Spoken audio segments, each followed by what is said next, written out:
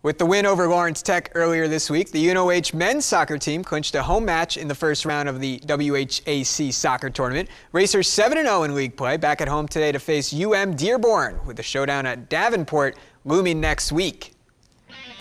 Racers getting fired up during the pregame, looking to defeat the Wolverines today. Carlos Suarez looking ahead to Adam Warren, but his pass sails just a little long into the hands of the keeper. Alexander Lakovic sends a shot ahead that deflects off multiple racers and goes up and over the cage, setting up a goal kick. Now Suarez gets plenty of foot into this one and it sails way high and right, setting up another goal kick.